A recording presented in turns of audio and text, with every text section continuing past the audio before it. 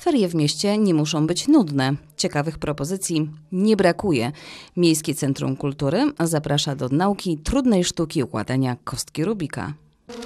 Przy komputerze to, to jest straszna nuda. Nic się nie robi, a przez ferie dwa tygodnie nie, nic nie robienia, nie wiadomo co zrobić. Jedyny problem. Więc przyszłem sobie. Zajęcia z mistrzem Europy w speedcubingu Igorem Kowalczykiem odbywają się w Szkole z Pasją przy ulicy Fosza 3 w godzinach od 11 do 14 i potrwają tylko do czwartku. Warto też zajrzeć do kina. 3 lutego ferie w Etiudzie, premierowa projekcja La La Land.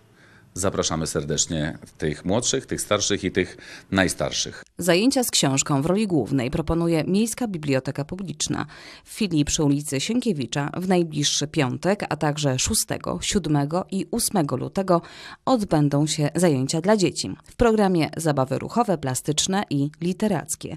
Biblioteka zaprasza też do teatru 3 i 10 lutego o godzinie 10. w sali kameralnej Miejskiego Centrum Kultury przy ulicy Polnej. Zapraszamy na dwa przedstawienia teatralne. mm, Teatr z Krakowa, mm, dwa przedstawienia, myślę, że mm, skierowane też do takiego widza najmłodszego. Zapraszamy wszystkich. Czy Sarna jest żoną Jelenia?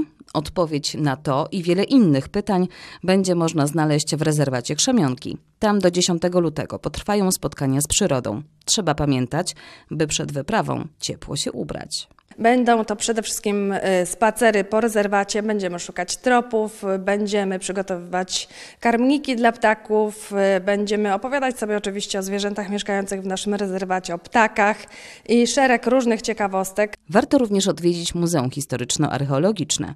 W czwartek w Pałacu Wielopolskich spotkanie ze sztuką. Pomyśleliśmy sobie, że w te ferie można połączyć zabawę z edukacją y, i w taki sposób właśnie będą wyglądały te zajęcia. Mało tego, y, to w weekendy tutaj w Pałacu Wielopolskich przygotowaliśmy bezpłatne zajęcia dotyczące y, nauki szydełkowania i robienia na drutach. Wszystkie propozycje placówek kulturalnych szczegółowo omówione są na ich stronach internetowych.